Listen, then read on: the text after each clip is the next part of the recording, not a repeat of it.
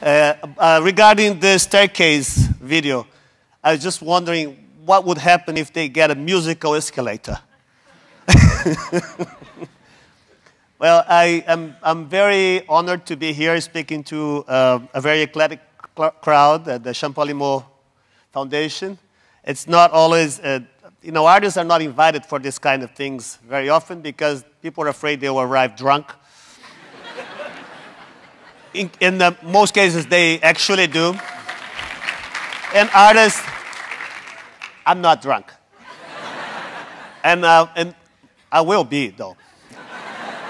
artists, uh, in most cases, they make uh, very poor speakers. You know, I, I am very touched by the fact that you came here to hear, uh, well, I don't know, I don't go to very many neuroscience uh, conferences, but I, to hear an artist, you know, I have insomnia problems, and that's how I solve it. I, for me, art uh, lectures are very therapeutical that way. I I kept thinking, you know, there are many, many stories about scientists and artists. One of them is related in Richard Feynman's uh, Are You Kidding, Rich, uh, Mr. Feynman? Uh, the Nobel Prize winning uh, uh, physicist uh, starts an adventure with the artist Robert Irving. And they, for three weeks, they discussed the possibilities of collaboration, you know. And then at one point, he says that Robert never learned anything about science, and I learned, and I was, I started to draw nude women in, uh, you know, uh, this clubs. You know, they, he started doing that thing after he got it. So it just the collaboration never really took them anywhere. And I think uh, uh, one of the reasons is that because we tend to look at the world in different directions. You neuroscientists are scientists are interested in how everybody's brain work, and I can't. I just can't get enough of to find out how my brain works. And, uh, and, and, it's, a, it's a very broad subject in itself. Uh, I on, often, when I'm in front of a crowd and I see this funnel, you know, me talking to a whole bunch of people, I can't help but thinking, what am I doing here? And I tell you, since I'm here, and you can see what I do at the, I don't have those great graphics that you had. This is the last image well, how? It, we gotta go back. We gotta go to the first image. You know, otherwise, I won't have anything to talk. Um, how? What am I doing here? It's a long story, and then I, you know, you can see what I do at the Centro de Belém, as it was mentioned, and you can buy the book and buy the T-shirt, and you know.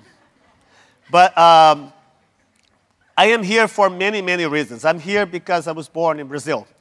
If I was born anywhere else, probably I wouldn't be here. I was born in a poor household in the, mid, middle of Sao Paulo. And if I was born rich, probably I wouldn't be here. I was born with, in a household with both my parents worked and my grandmother uh, was an amazing woman. Her name was Ana Rocha. She learned how to read by herself. Nobody knows how she did it. She looked so, she never had one day at school, but she looked so hard at her children, children's books that somehow, in the chaos of science, she started to discover an order. And she started reading. She read uh, science books. She read the history uh, of Brazil. She read bot- botany books. And, and she was a very inspiring woman for me. She was the most influential person in my entire life because my earliest memory, I am sitting with her in an old gray sofa. And she holds my hand and we go over the words as if she was teaching me Braille. And she tells the names that were in those words, like an enchantment, like it would be anaconda, cascavel, urutu, and I would savor the taste of those words, even though they, they were names of Brazilian snakes. I remember reading at the age of four or five, and by the, by the time I was seven, I was reading uh, the, Voyage to the Center of the Earth and Treasure Island, and I was sure to be a hit at school. But something really weird happened. I started reading by the phonosyllabic version, started uh, being taught how to read by the phonosyllabic. It took me two years to learn how to write. I discovered that I could not only, I was unable to read uh, or to write, but I was unable also to read certain fonts.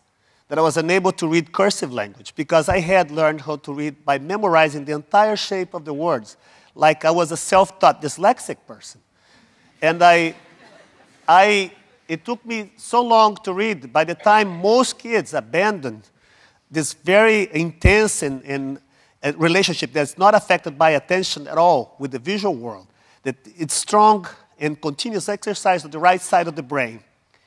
Uh, when they start to abandon that for a more departmentalized, more compartmentalized uh, type of relationship to the world through language, through written and spoken language, they start stop, they stop uh, abandon gradually drawing and, and Play-Doh playing, clay uh, structures. And I took the opposite direction because I could not write or read.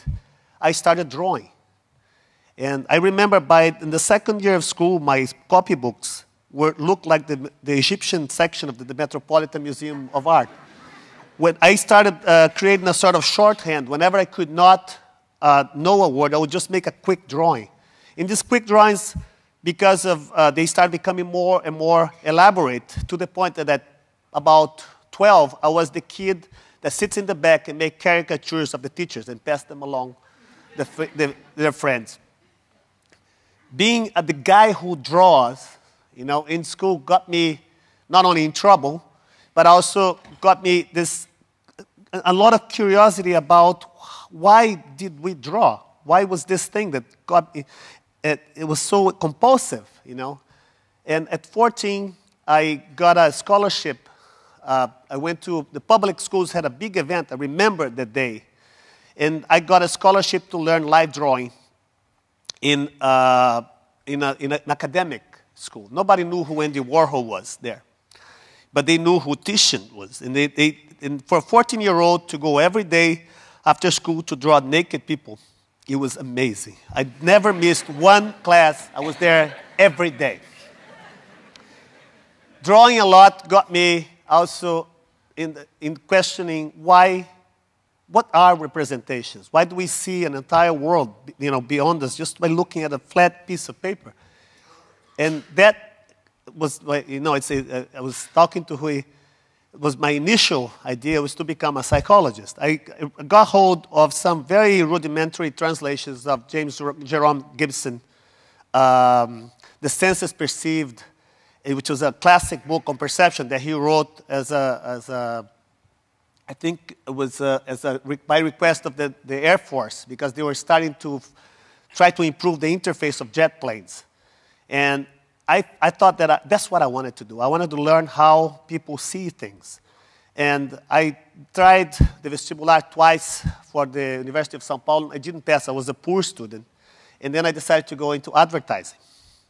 Because it was everything that I was interested in representation, psychology. I like to fool people. But, you know, and it was another book called Subliminal Seduction, which they tell about all the things that people did at that time. They were, they were airbrushing naked people in ice cubes in whiskey commercials. I wanted to go into the advertising not because I wanted to sell whiskey, I wanted to sell ice. And uh, I, I, discovered that soon because I, the first three or four weeks, I thought that I knew everything already. And I started to think of how, and I needed, uh, the, teacher said that I need, we needed a personal project. I was always, I always suspected that I was, uh, I had reading problems when I was driving on the streets of Sao Paulo in the 70s because I could not read anything. You know, and I, once I was with my mother in the car, we, I went there to get a payment at the bank, and I said, Mom, can you read that? And then she said, No. And then I went around the block, and I went it was going at 40, I went at 30. And I said, Now, can you read that? She said, No. And I went at 20. And I did that with all my friends, and I did that with different signs for about six months. And that was, how, that was my thesis for the first year. I created a chart that crossed vectors of angle of approach, right, speed, and size of text to improve the readability of billboards. And, uh, you know, they would they would make billboards in Sao Paulo on the Jockey Club. On the right side, you know, they would, they would advertise toys on the right side. So you would have to be a driving baby who can read backwards and an incredible speed to buy that doll. You know, and it would be, everything was wrong. And I realized that I could read, but nobody, I, I, I couldn't read, but nobody else could. So I got a job. Uh, in a, there were only two companies that deal with outdoors at that time, and I got a job in one of them. And I also got, uh, was awarded a really ugly plexiglass trophy for the study that I did from the São Paulo Association of Advertisement. The day, now we get to the point why I'm really here talking to you. The day I went to pick up the trophy, I didn't know anybody. I had a beer, I got the trophy, and I went out of the event. Uh, I, when I got the car, I went to around and I was in front of this event. I witnessed a fight.